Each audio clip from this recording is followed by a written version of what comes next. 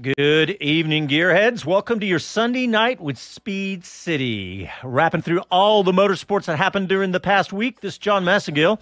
I am in the studio in Austin, and I'm joined by my friend and co-host Jonathan Green. How are you, Mr. Green? Very well, thank you, sir. How are you? I am doing good in kind of a cool, rainy Austin weekend uh, to start off the spring break. Not not exactly exciting. I say to start off to really wrap up spring break here. Yeah, I saw the rain coming down. My plants need it. That's all good.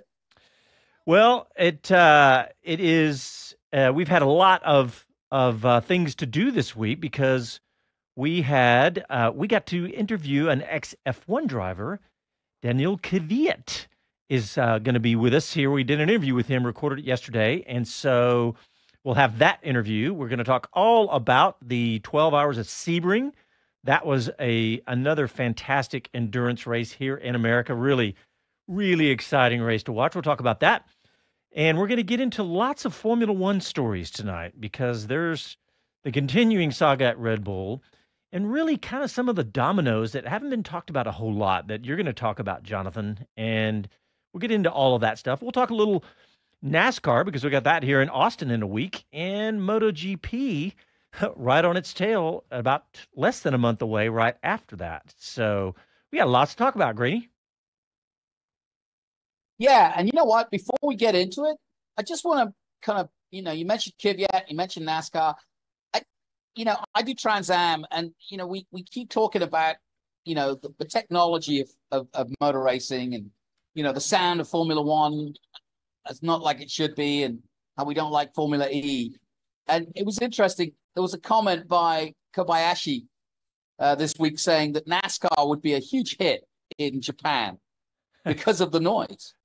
And, you know, I just love the fact that NASCAR has got an ex Formula One world champion in Jenson Button, has got a guy with over 100 Grand Prix from Russia, of all places, in NASCAR next weekend at COTA.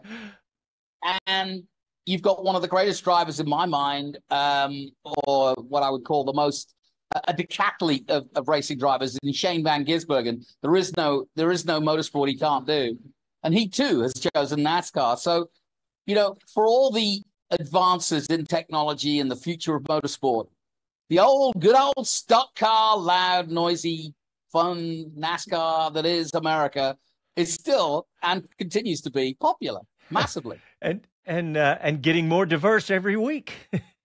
yeah, it's no, it's that. it's fantastic, and we got it coming here to COTA in a week, and that's that's an exciting weekend out there, and it does really good too, doesn't it? We get a lot of folks out there.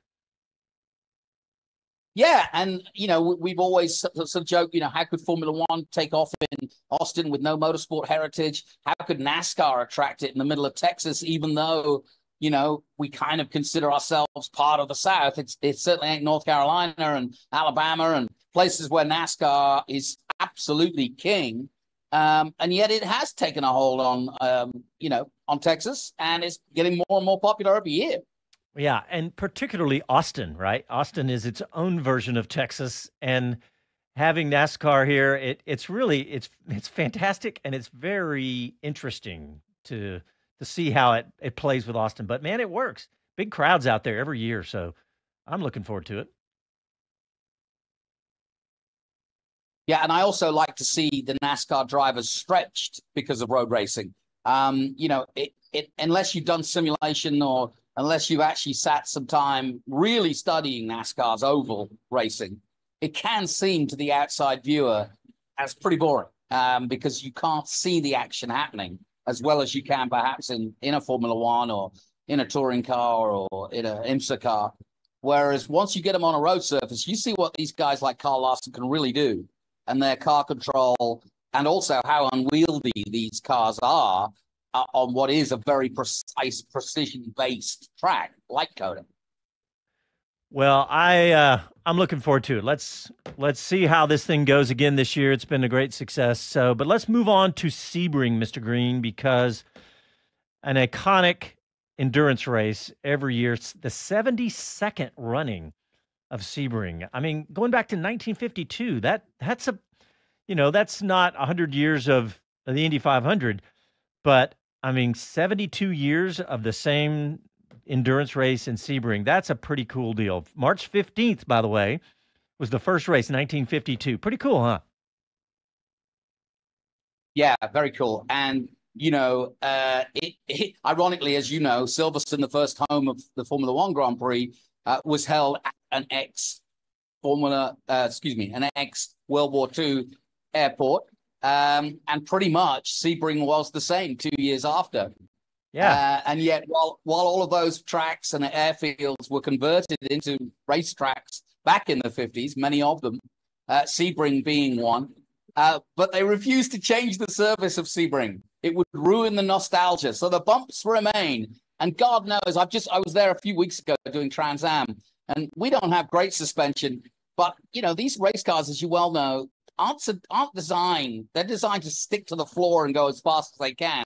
So your teeth don't come into it. so yeah. I don't know how you could sit in one of those cars for 12 hours and rattle your teeth the way they do. Uh, I know it was fun watching those super flat cars, right? Running over all those bumps, pretty crazy. But uh, it was a great race, Jonathan. I don't know. I know you said you didn't get to watch much of it. I had it on all day yesterday. I was doing it, actually I was working on my car, and doing lots of stuff, but I had it on going pretty much start to finish. And it was at the end fantastic racing, especially Louis Delétraz, a late race pass on Bourdais to claim victory for the WTR Andretti team in an Acura and that was pretty cool. But the whole race, it was like it was the perfect Sebring, right? It, right, it was really warm, almost hot, a little bit of you know, always a, ch- a threat of rain out there. Fantastic racing, up and down, all the different classes.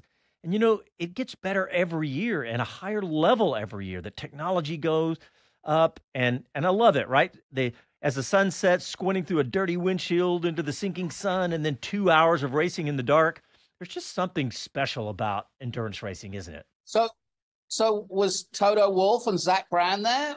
I mean, how did Mercedes go? I mean, was it oh Andretti and Cadillac?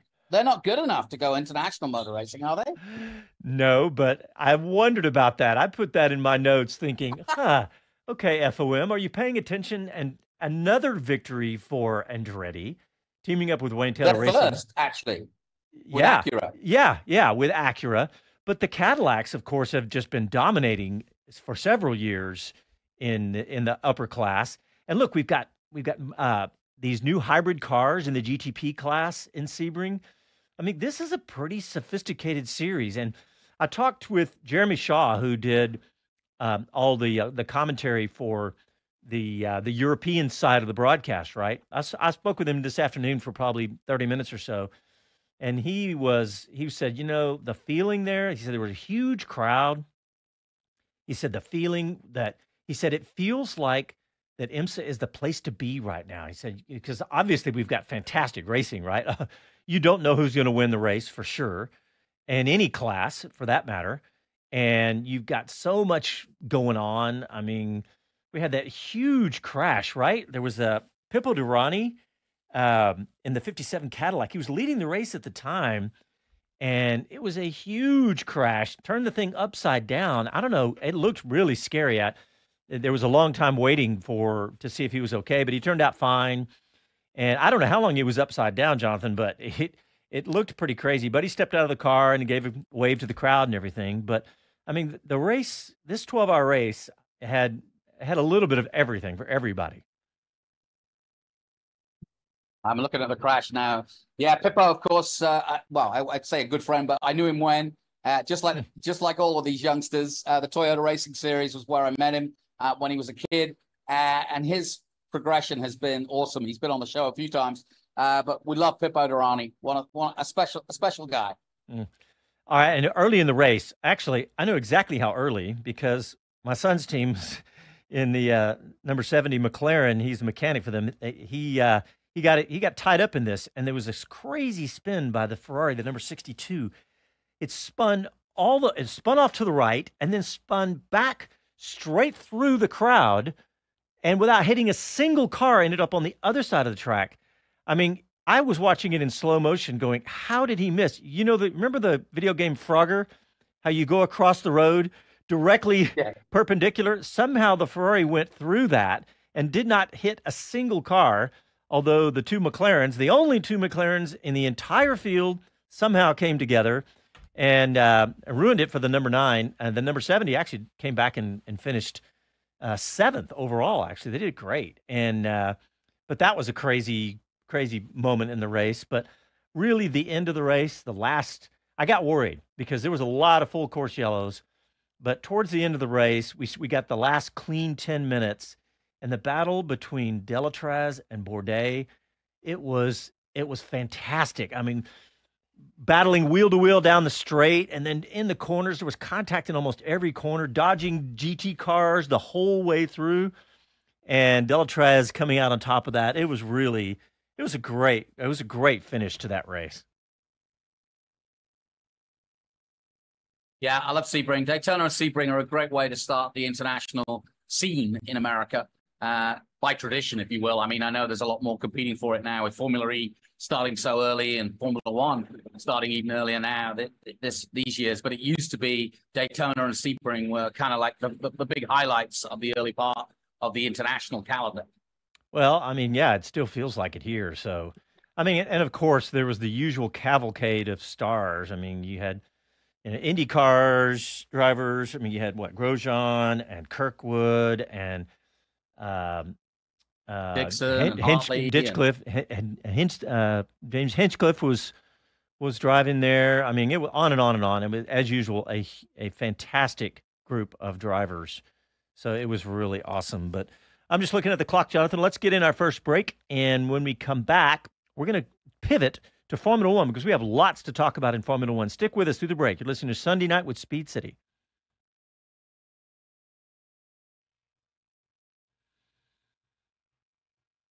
All right, we're still live on YouTube. Oh, got lots of comments going on. We got David Lawrence, we got Kevin Kelly, Mike Bowles, Ray from Charlotte. Uh, we got the usual. What are you talking about here, guys? Uh, you guys talking NASCAR with COTA? David says it's quite refreshing. Yeah, we just don't get a lot of NASCAR talk in, but man, when it comes to our city, we got to talk about it. It's going to be hard though, Jonathan. You're going to be gone, unfortunately, but we're going to be doing the uh, Australia middle of the night broadcast. Go home and get some sleep, and then go out to the track for for the NASCAR race. That'll be it'll be fun though. What else? Kevin Kelly said yeah, Sebring, Sebring wore me out. He was Kevin and I were going back and forth a little bit. And he said it was uh, he was watching every bit of it. Yeah, David Lawrence, I love it. Sebring delivers again. What a classic! It really was. It felt like it just again. Uh, David Lawrence says, "Hey, uh, hey, John. Jeremy does IMSA radio with uh, John Hindhaugh. Listen to them all day. Yep, I was listening, David. That's why. I, that's how I watched it, or mostly listened.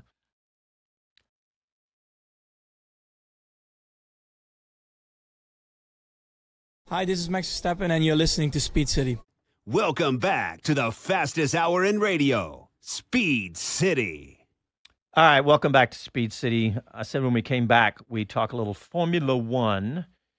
And I guess we have to start with the exhausting Red Bull stories. Um, Jonathan, the latest, of course, you know, we it's been the never-ending soap opera, right? Yeah, you say exhausting, and I agree. It's it's it's gone on way too long. But to be honest, it's becoming it, it's like a snowball. It it is gathering. It yeah. is gathering. Um, and it could turn out to be one of the biggest sto- uh, stories in a decade, uh, simply because um, it, it, it, I mean, this started off as a disgruntled um, employee, if I read this right, um, taking unacceptable behavior from a team principal, right? Yeah. And that on its, you know, I mean, come on, we're all big boys and big girls. Uh, we've we've seen this in the corporate world. It happens in tech industry. It happens in any industry, and it's life. People flirt. People say inappropriate things or put pressure in inappropriate ways um, in a corporate situation. Right? No, it's not acceptable. And the way that this has been dealt with, both internally and externally, has been appropriate. But we are now looking at a one disgruntled female employee who now, of course, is appealing the results, the resumption, uh, sorry, the resolved issue as it was put to bed before the start of the season. It is now blown up into a situation now where the FIA are involved, Red Bull Austria are involved, and the entire 23 year history of Red Bull could collapse overnight with a three time world champion leaving the team, which has been the most successful team in the last well, potentially in the history yeah. of Formula One. Yeah, look at the look at the records that have fallen with under Max Verstappen and Red Bull. It's crazy. And you know, I said this right from the get go. I, I, I used the word hit job, but what I meant by that was this wasn't about the girl. That she's the catalyst, and it needs to be rectified, and she needs to be heard, and it needs to be sorted. And if that mm-hmm. means firing Christian Horner, so be it. Uh, not that I want that, but I don't know the ins and outs. Nobody does. But we've certainly got an idea for what has gone on because this did not start with the media as it often does in Formula One. This started with Red Bull. And that's where I said hit job, which was clearly the power struggle that we're now seeing between Verstappen, Helmut Marko, the Thai owner, the new head of Austria um, that replaced Mateschitz, and of course, um, Christian Horner himself, are in a power struggle for effectively running the team. And the latest is, and, and like I said, the FIA are also now involved because he is one of the team principals of their sport. Um, but what's interesting is Max quite vociferously came out last week and said, having won the race, because um, they were talking about Helmut Marko potentially being under investigation himself for leaking material to the mm-hmm. press saying that he could be reprimanded or at least asked not to go to Australia while they investigate him. And Max Verstappen came out and said, if he goes, I potentially go. And that has now put us into two corners of the heavyweight boxing ring that is Red Bull Racing, with Horner in one corner and Helmut Marko and our triple world champion and his father in the other. Yeah, uh, this this is like you said, snowballing because let's talk about what could happen if all this happens. Where all these people could end up, including Max, including Adrian Newey and Horner and everybody else. Yeah. And, you know, we talked about the dull season of Formula One where Red Bull won 23 of the 24 races. Oh my God, they've won the first two. They're going to do it again. It's going to be a boring season. Shakespeare would love this script. this is fantastic. I mean, they, I mean, they could go on and win 24 races, but that's not what we're going to be talking about because by the end of it all, and I do think that all of the ramifications that we're looking at now will kind of have a knock on effect to next year.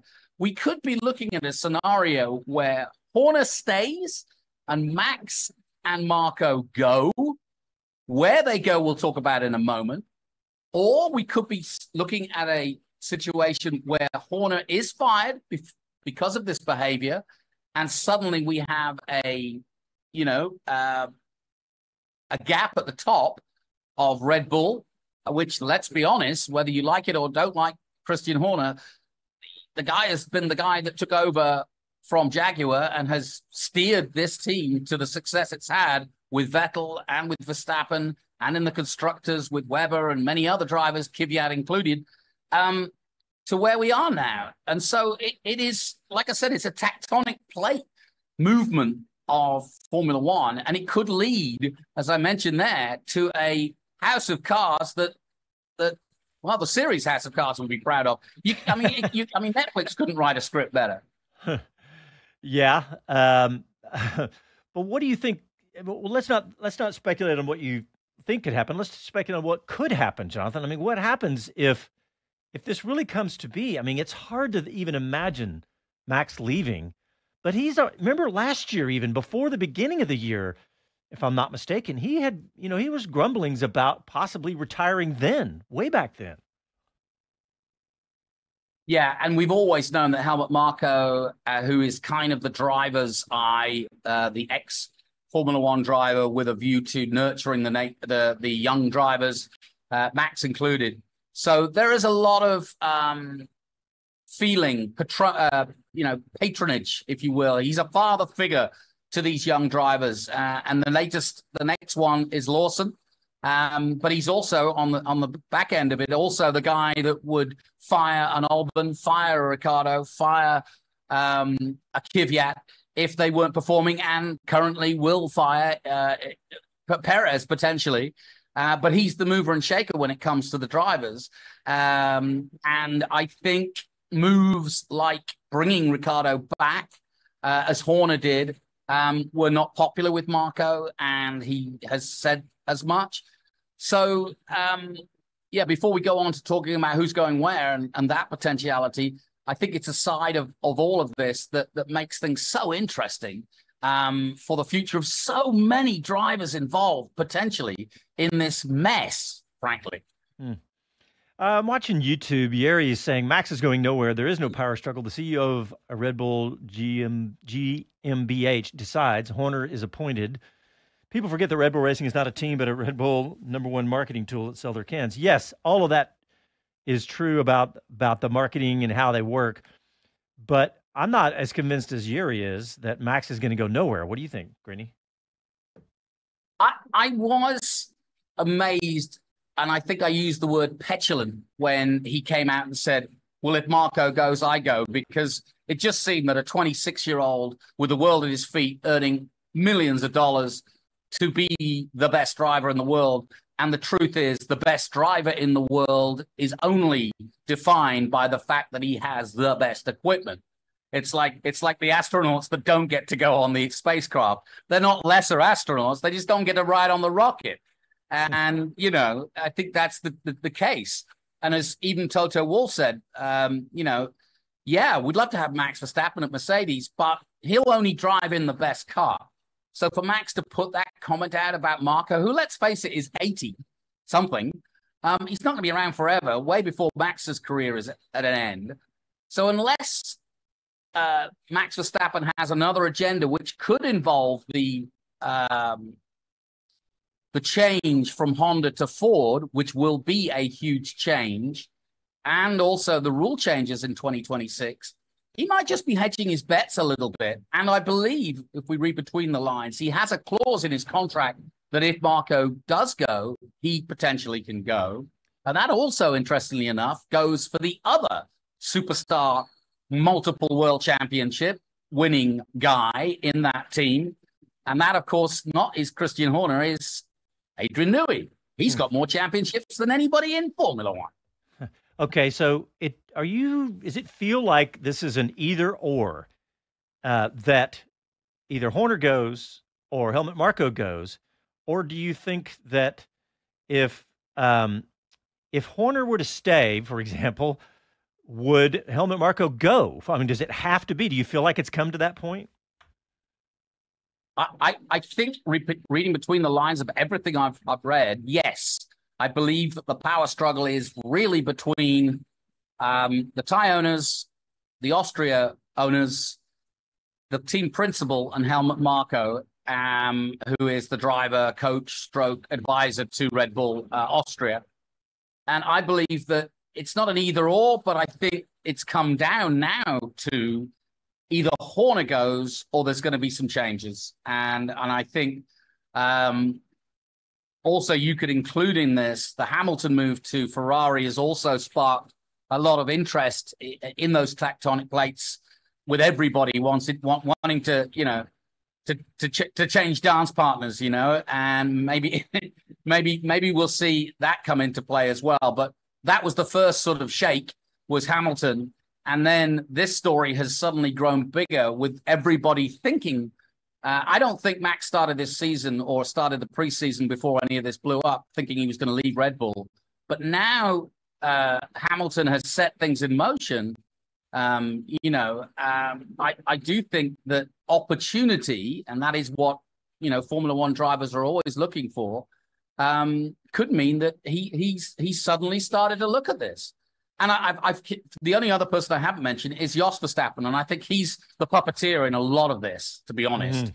I, I, I think uh, what he said in the press and his comments about knowing the girl in question and seeing the text come through when he was with her um, also add fuel to the fire.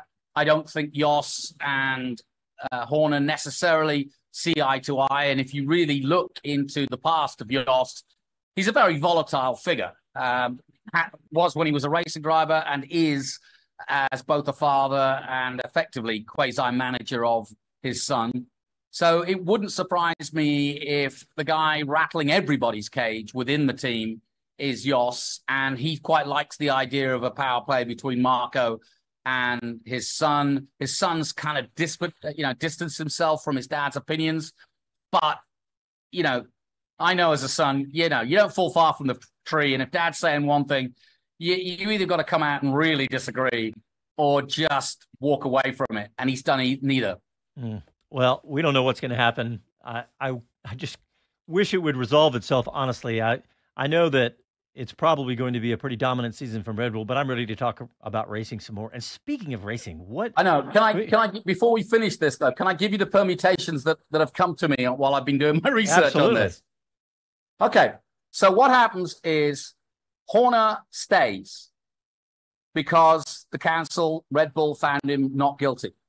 Okay. She has uh, not accepted that uh, theory and is appealing We'll see what happens in that appeal. The FIA are now looking into it as well. But let's just say Horner does stay and is vanquished of this problem, and he remains team principal. Well, Max follows through.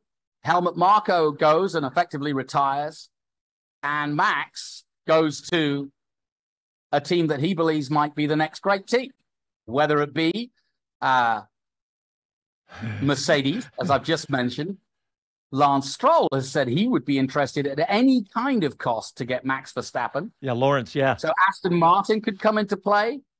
Yeah, he would um, write as big a um, check as it would take, right? Because that's not in the cost cap. No, it's not in the cost cap. Uh, and Adrian Newey, more interestingly to me, could potentially jump ships and go of one of two places Mercedes or Ferrari, or if Stroll yeah. is as big as his boots say, to Aston Martin. Imagine Max and, when and those Newey. cards fall. Yeah, yeah. Go ahead. So go ahead. When those cards fall, then who fills the Red Bull seat? Lawson's ready, uh, but he is predicted to take Perez's seat. Alonso could be ready, but would Honda accept him, even though they're on the, the way out? Uh, Alonso is second in line if Verstappen or nobody bigger than him, uh, like an Albon, uh, takes the Mercedes drive. Um, if he goes with a Kimi Antonelli, which of course I'm talking about Toto Wolff now at Mercedes, um, who is in F2 and just 17, um, uh, then potentially um, Alonso could fill in that gap of two years because he can't get a super license because he's only 17. So, oh, it it's wicked. And then you go down the line. Where does Ricciardo come in? Where does Albon come in? Um, you know, already Gasly and and um, Hmm. Ocon are ready to jump ship because they've got no car to drive. Um, and it's yeah, fun. It, it is insane. All right, well, let's get a quick break in. And we got Daniil Kvyat, the interview we did with him coming up quickly in this next segment. We got a couple more F1 things to talk about before we go to that. You're listening to Sunday Night with Speed City, back after a quick break.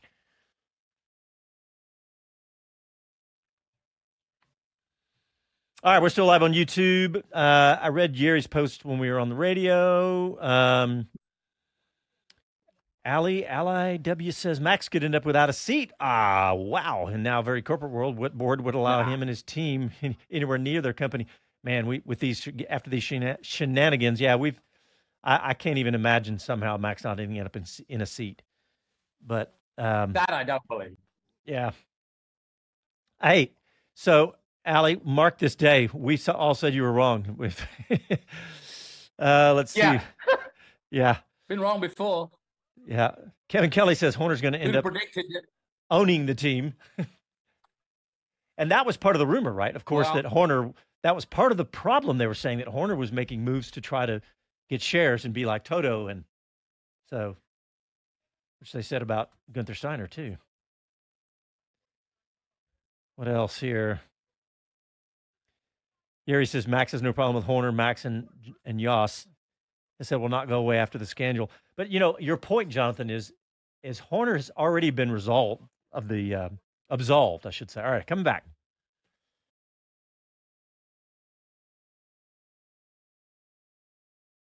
Hello to everyone. This is Gunter Steiner. This is Speed City. Welcome back to the fastest hour in radio, Speed City. All right, before we go to our interview with XF1 driver Daniil Kvyat, I want to talk just a little bit more about F1 because some of the notes, some of the stories that came out after Ollie Bearman's just amazing debut, right? And I saw one from Jock Clear, right, Jonathan, that he said basically um, he said, I've never seen anything like that. He's the legendary engineer. He said, I've never seen anything better than that, talking about his debut. And I'd already marked up a story about every teenager in Formula One. And I thought, this is a great segue for you because you've seen most of these guys over the years, right? And and and just yeah. go, go think about that. Do you think this is the you know the best debut I, I mean, it's up there. I mean, you know, I mean, if I, if I really want to date myself, I, I was good friends with Chris Amon, who came into Ferrari at 19 and, was a sensation straight away. Um, but the performance by Bearman, uh, Bearman was was was pretty exceptional, to be honest. I mean, you know, he was racing a different car earlier in the weekend, and he'd already qualified that car on pole.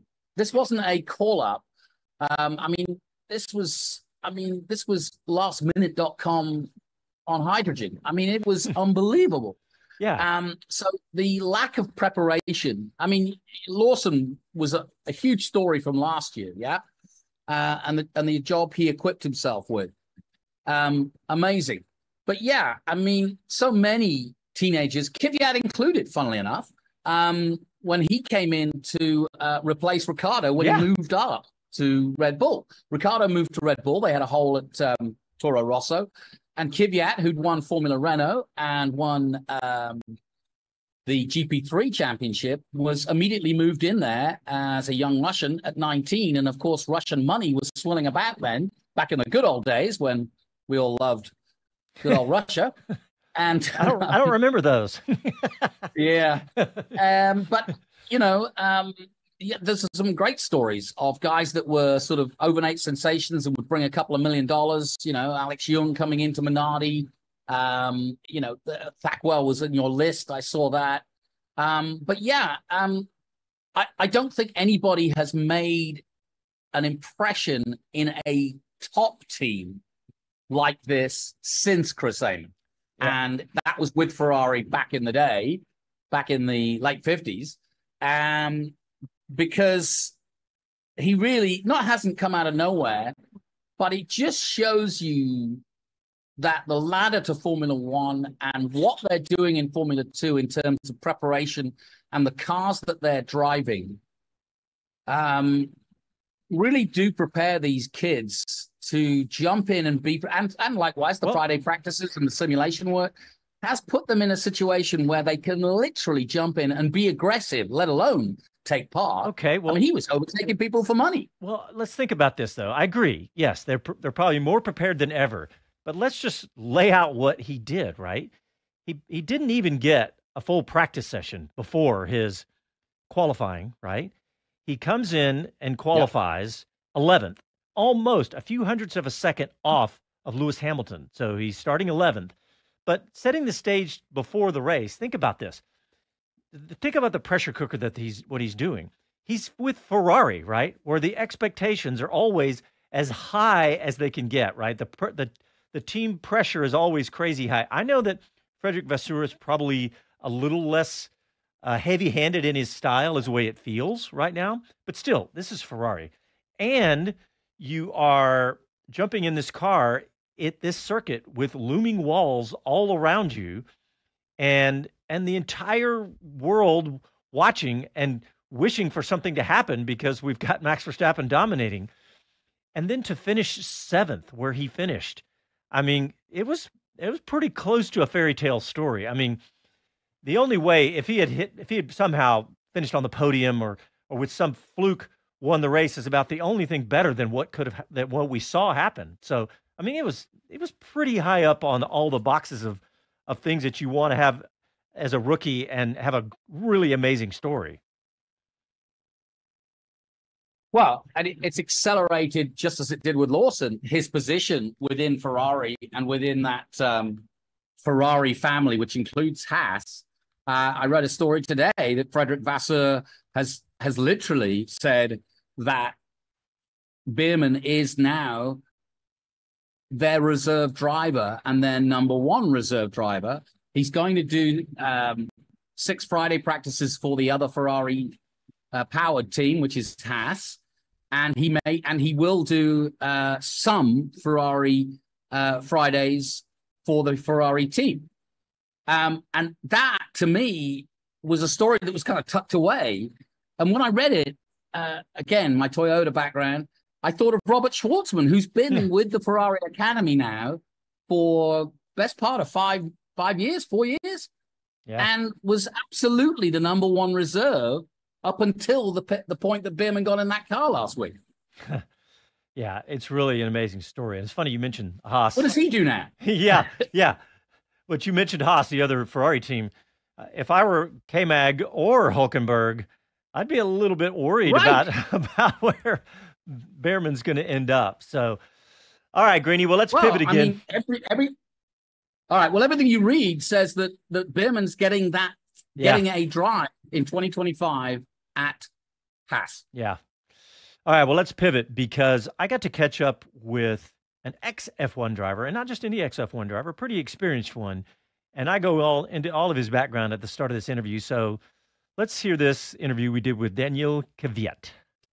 I am genuinely excited about our guest today. Daniil Kvyat is one of the best race drivers in the world. Like many, he started in karting, and after stints in some lower Formula series, he made it to Formula One at only 19 years old. And on his F1 debut, became the youngest point scorer in Formula One at the time.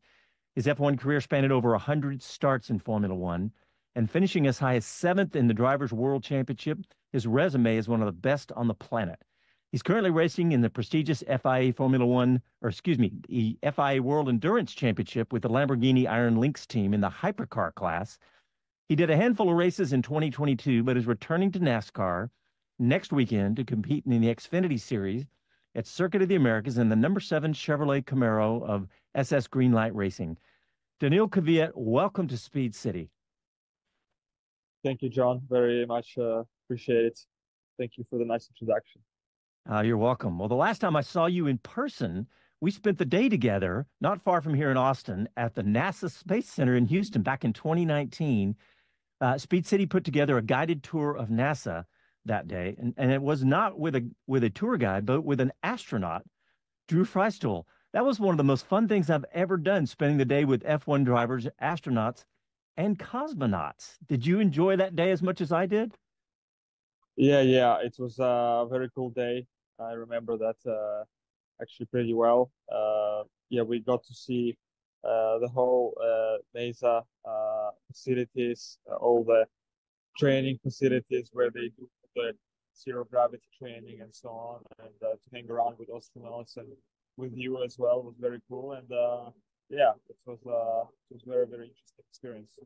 Yeah, and and remember we actually stumbled into the Russian cosmonauts in the hallway and you guys stopped and took photos together. Yeah, yeah. Uh, it was very nice experience. They later came to to visit uh, my race in uh, Austin, uh, the F1. So it was very very interesting and uh, yeah, cool experience. Well, look, you, your return to NASCAR sounds like a movie script. Uh, a Russian Formula or former F1 driver comes to Texas to race a Camaro in NASCAR. besides the obvious of, of, racing a Chevy in NASCAR, sounds like a heck of a good time. What what is your attraction to NASCAR? I always was quite passionate about NASCAR. You know, since you're a kid, there are all these uh, movies about, uh, you know, usually Formula One and NASCAR, like Days of Thunder, for example, and uh, uh, and then the racing in itself is very interesting. I think it's very particular and very unique uh, you can't really compare NASCAR to anything else. And I think uh, in my mind, it stands somewhere up there with uh, Formula One uh, as an achievement. You know, if you win NASCAR.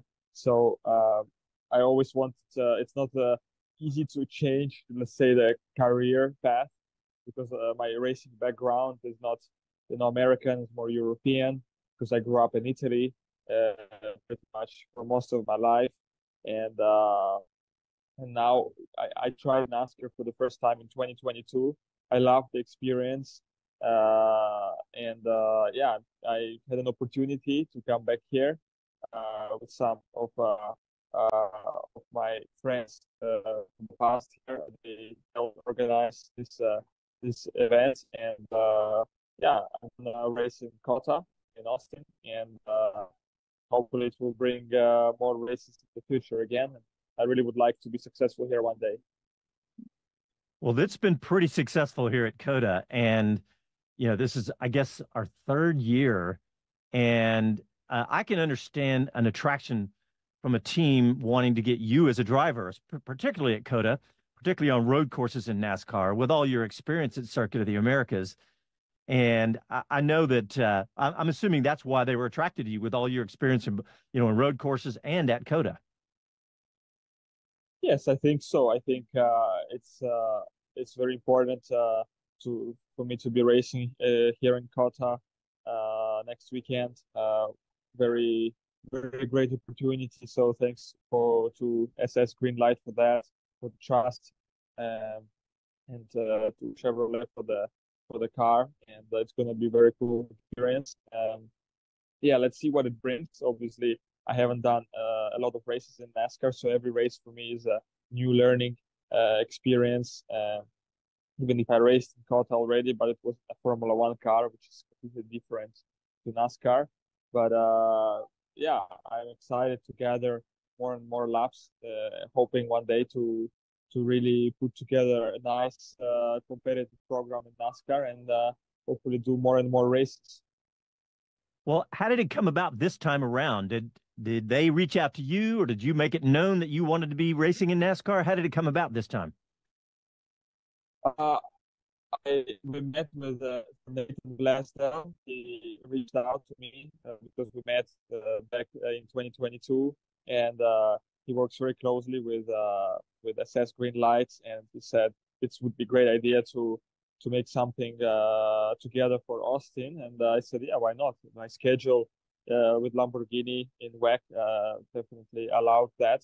Uh, we checked the calendar and uh, and we it was kind of a green uh, green light for us to go ahead with it and uh, and make it happen. So he worked hard for this deal to come together, and hopefully we get we get it going in a very nice way for the future as well. And I'm open to do more road courses this year and actually also ovals. I, I want to start trying to gather experience on ovals as well to understand what it's like and, uh, and uh, get competitive there.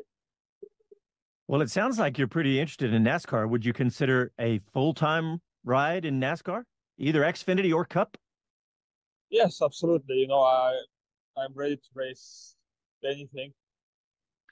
Truck, Xfinity, Cup, I'm very passionate about uh, about racing uh, here in uh, NASCAR, and but also I'm having very good time. But also would like to start, you know, um, to get a shot at winning races, and we of course know that the car and the team resources are important for that as well. And I'm hoping to get opportunities in the future to to start uh, fighting for wins where, where, I think on road courses uh, my level will be pretty high soon, and uh, I can already start giving a fight to, to, the top guys. Well, this weekend you're at Sebring and racing that Lamborghini in the hypercar class. That that sounds pretty cool too.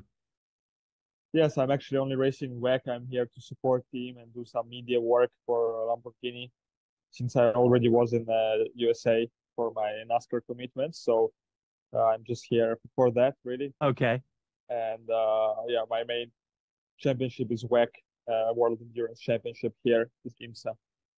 Yeah. Well, you know, I, I, you know, with your F1 experience, I wanted to ask you, you know, the, about some F1 questions because the F1 driver market is in full silly season already with Lewis Hamilton heading to Ferrari and the dominoes starting to fall. But, you know, there's drivers like Kevin Magnussen and Hulkenberg thought they were out of F1 and now are back competing and competing well. Would you consider a return to F1 if your phone were to ring? you know, like I said to you, I, am uh, ready to race anywhere, track, Xfinity, Cup, also F1.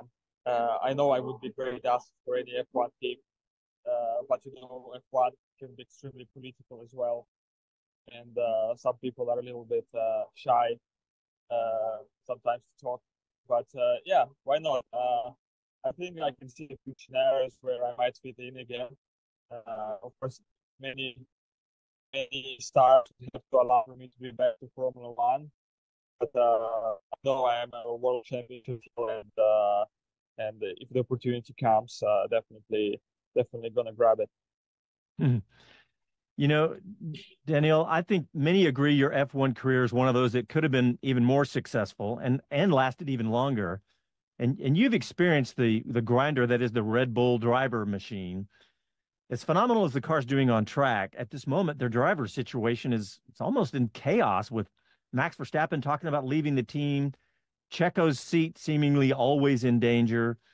Your former teammate Ricciardo is at RB now and mentioned for the Red Bull seat. What do you make of the Red Bull driver situation right now? Uh, yeah, it seems a bit chaotic there. I, am personally not not very surprised, but uh, yeah, of course, uh, if uh, they seem to like to bring their old uh, friends back. So if uh, one of them wants to reach out, they still know my phone number. I don't know if it's Helmut or I don't know if now Christian has more importance. I don't know who is who is winning in their uh, power struggle up there. So uh, whoever, uh, yeah, it's it's it can get pretty interesting there. But uh, yeah, it's uh, interesting market as always. It's a shame that what's happening outside the track is a lot more interesting than what's actually happening on the track. Yeah, there's been a lot of that discussion this year, particularly here in the states, with a lot of new fans, and uh, you know they they just maybe they were spoiled a little bit by the incredible seasons of 2021 and and uh, you know there's a lot of fans that don't understand that sometimes it happens in Formula One where we just get some dominant teams because they get the technology right. Um, you know, what would you tell those American fans to about Formula One in that case? well, you just said there were some amazing uh, seasons like 2021, and then you stumbled and you couldn't name any other one. Well, I would name 2016 perhaps, but uh, but I think the problem is uh, there were promises that the new regulation would deliver a lot closer uh, competition between teams, but it has, I think, failed. And now again, we get one team which is clearly miles ahead of others, and uh, yeah, it makes uh, the show pretty boring, which is uh, a shame.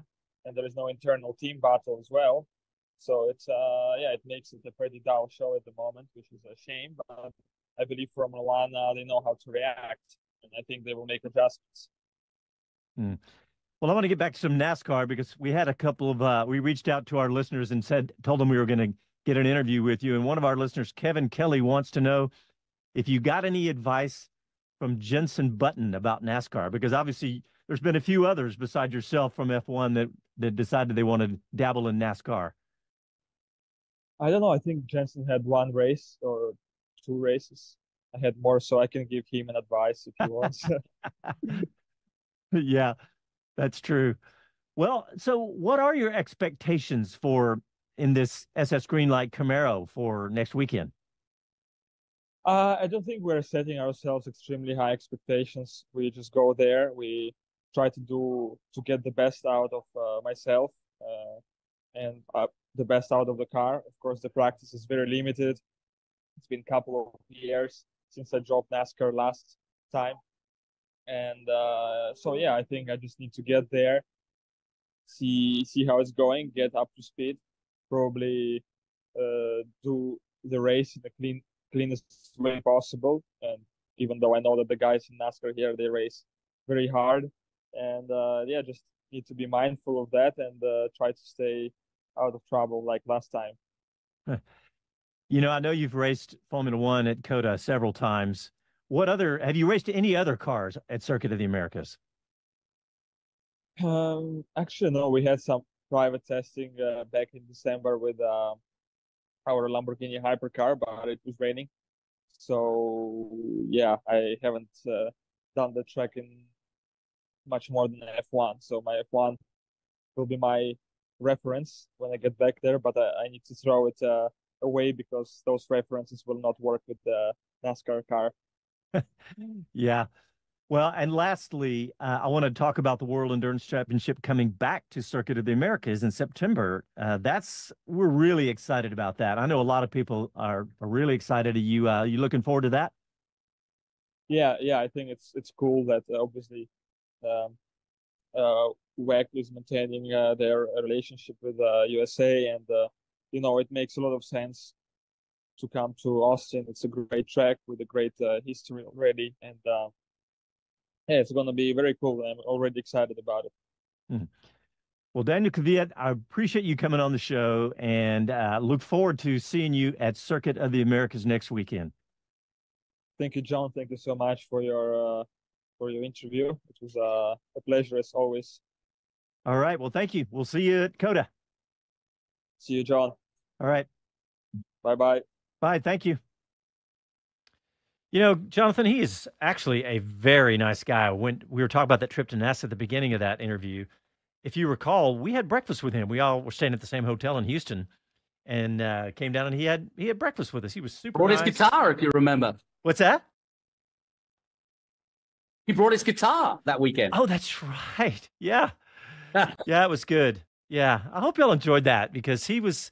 I mean, look, you don't. It's not that often you get to talk to an F1 driver you know, like he said, he's probably not going to get that phone call. And he was pretty pretty blunt about the state of the sport right now. He's, you know, and of course, when you're not in the sport, they feel more uh, inclined to criticize the sport as well. But what do you think, Greeny? Yeah, and to be honest, I, I, I hope that we can do more of that because I, I really do think you know we get opportunities each and every weekend because of Chris Medland to uh, and because of Sirius to to talk to you know uh, the the current guys. Um, but sometimes we can get lost in that bubble, and it's always good to get perspective. I mean, you know, the top pundits in Formula One now: Ralf Schumacher, Jacques Villeneuve, Damon Hill, um, Paul di Resta, Karun Chandhok. So, you know, but but Kvyat's just as relevant as any of those guys. Yeah, no doubt. All right, well, let's talk MotoGP. We just have a couple minutes left because MotoGP has a new television rights deal in the United States. And Jonathan, you and I spoke earlier today, and we were saying, well, is it really better than it was? And I think it is uh, because the the broadcast is going to be on truTV and on Max, right? But truTV, like I have, I don't have cable anymore, but I have YouTube TV, and that's included. And, and I've, I just checked my DVR, and I've got the first race, and it is across a lot more platforms so there's a lot of people that already have it immediately. And there's some deals out there for it too. So I think it's a little better than it was, mainly because you can watch them live. I mean, NBC was not showing all of them live last year. And so you get every single one live. And I do think it's a little bit better deal. But but truTV, do you need a cable package of sorts to have truTV? No, you can also buy truTV, uh, but you know then that's another. It's like eight ninety nine a month or something. But so that really wouldn't be any better, except that again it is live. Where I guess I don't think NBC was showing them in any way, even if you paid live. You can get, of course, the MotoGP app, which is I think about 150 bucks a year. So, you know, in that yeah, case, no, I mean to be okay, I, okay, so here, here's my take on this. Um, I, I, am uh, the jury's out from my point of view. I, have not heard of, you know, I come from the old school of network television, um, and so truTV doesn't mean anything to me. Although I'm sure it does mean a lot to your son and more people younger than me. But when I also read that the live stream was going to be on Max and Sling TV, again, I was like, that that's still, as far as I'm concerned, in the lower field, as we like to say on the farm. That that's not right next to the house, you know. Well, that's... here's why I think uh, you. I know exactly what you're saying about it. Here's why I think it's further that direction than it was because it's on multiple platforms and it's already native. Yeah. YouTube TV is big.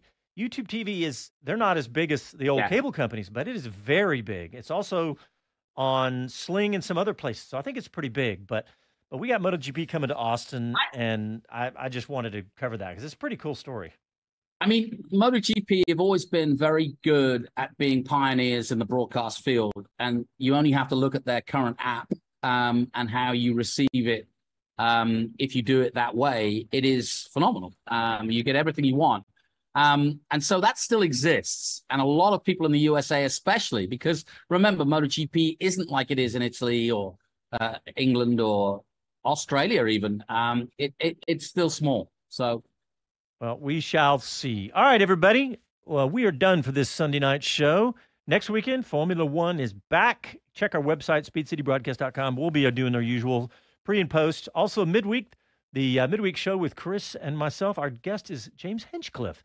So tune in. Thanks, everybody. We'll talk to you next weekend.